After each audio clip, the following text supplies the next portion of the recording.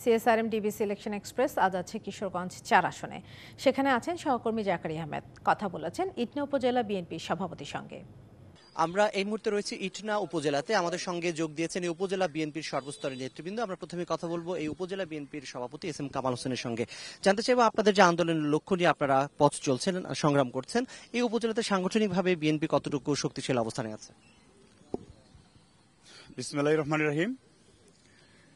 আম, আমরা ইটনা থানা বিএনপি, আমরা সবাই ঐক্যবদ্ধভাবে আমাদের যে জাতীয় ইস্যুগুলি, ওই ইস্যুগুলি নিয়ে আমরা সবসময় ঐক্যবদ্ধভাবে আমরা কাজ করে আসছি।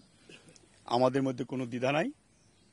আমরা আশা করছি যে ইটনা থানার সর্বস্তরের জনগণ নিয়ে ওই আন্দোলনে ঐক্যবদ্ধভাবে আমরা সবসময় অংশগ্রহণ করে আসছি।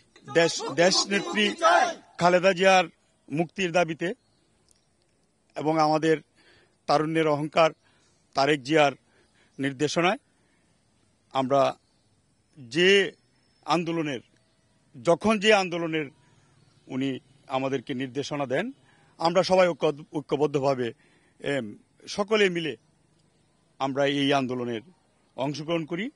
আমাদের মধ্যে কোনো দ্বিধাদ্বন্দ্ব নাই। সামনে আশা করি যে আন্দোলনে ডাক দিবেন আমরা সকলে মিলে এ সার্থক করব ইনশাল্লাহ ধন্যবাদ। আমাদের সঙ্গে আরও আছেন এই ইটনা উপজেলা বিএনপির সাধারণ সম্পাদক। তার সঙ্গে আমরা কথা বলতে চাই জানতে চাই যে আওয়ামী লীগ তো টানা তিন মেয়াদের ক্ষমতায় রয়েছে। এই আসনে তার কতটুকু উন্নয়নের ছোঁয়া লেগেছে বলে আপনাদের মনে হয়? ধন্যবাদ ডিবিসিকে। আপনাদের মাধ্যমে জাতিকে বলতে চাই এই আসনে আপনারা জানেন মহামান্য রাষ্ট্রপতির এলাকা ইটনামিটা মনস্টগ্রাম উন্নয়নের ছোঁয়ার কথা বলেছেন। রাষ্ট্রপতি হিসাবে যে উন্নয়ন হওয়ার কথা ইটনামিটা মনস্টগ্রামে তার ন্যূনতম নেই। দৃশ্যমান কোনো উন্নয়ন আমাদের চোখে পড়ে নাই এই এলাকার জনগণের চোখে পড়ে নাই। তো হাওড়ে আর কি কি প্রয়োজন বলে মনে করেন? আপনাদের জীবনমানের উন্নয়নের জন্য আর কি কি লক্ষ্য আপনাদের অর্জন করা বাকি বলে মনে হয়? হাওর হাওর এলাকাকে যদি উন্নত করতে হয় প্রথমেই শিক্ষা ব্যবস্থাকে উন্নতি দিকে এগিয়ে নিয়ে যেতে হবে। এখানে শিক্ষার ব্যবস্থা বর্তমান সরকার একবারে শেষ করে দিয়েছে। যার শিক্ষা হলো জাতির মেরুদণ্ড। এই শিক্ষার ব্যবস্থা একবারেই নাই বললেই চলে। যোগাযোগ ব্যবস্থা নিয়ে কোনো যোগাযোগ ব্যবস্থা এক আমাদের নয়টি ইউনিয়ন।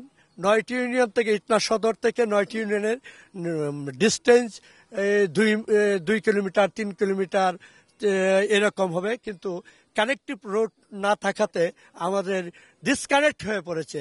উন্নয়ন একবারই নাই আপনারা ইচ্ছা করলে প্রতিটা ইউনিয়নে আপনারা ঘুরতে পারেন ঘুরে দেখবেন।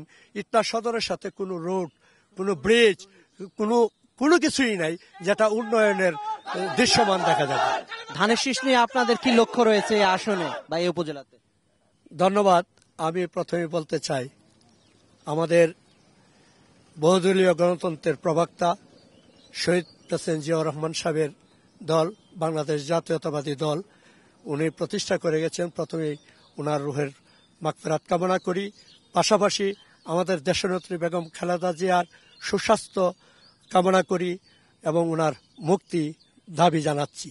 আমাদের তারুণ্যের অহংকার তারুণ্যের অহংকার তারেক রহমানের নির্দেশনায়, দিক নির্দেশনায় আন্দোলন চালিয়ে যাচ্ছে। এই আন্দোলনকে বেগমান করার লক্ষ্যে আমাদের ইসলামী প্রাণ পুরুষ অ্যাডভোকেট ফজলুর রহমানের নির্দেশনায় আগামী আন্দোলনে আমরা ঝাঁপিয়ে পড়ব। এই সরকারকে পতন এই সরকারকে পতন না ঘটানো পর্যন্ত আমাদের আন্দোলন চলমান থাকবে। ইনশাল্লাহ বিজয় সুনিশ্চিত করা পর্যন্ত আমার বিএনপি সহঙ্গ সংগঠনের নেতৃবৃন্দ, আপম জনসাধারণকে নিয়ে আমরা রাজপথে আছি। ইনশাল্লাহ থাকব। অসংখ্য ধন্যবাদ। আমরা এখনকার মতো বিদায় নিচ্ছি। আমাদের সঙ্গেই থাকুন।